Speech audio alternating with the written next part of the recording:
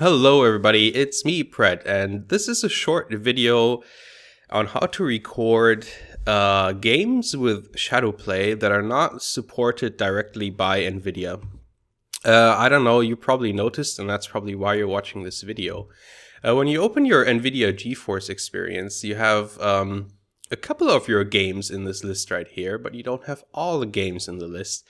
And uh, the thing with Shadowplay is that uh, you can only directly record games that have been optimized by the GeForce experience.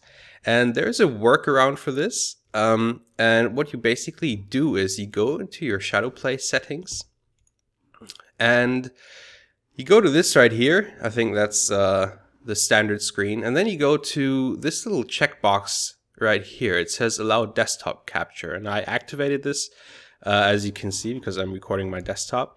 And then you can record any game you actually want. You just start it up, and as you can see right here, NBA is not officially supported by the uh, optimization of NVIDIA's uh, GeForce experience, and I can still record fine at 30 frames, at 60 frames, at max quality.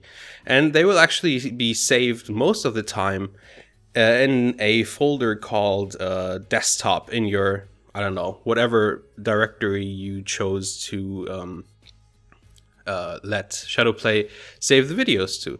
So I hope uh, this helps you because uh, it took me way too long to figure this out by myself. And yeah, I'll see you guys in the next video. Goodbye.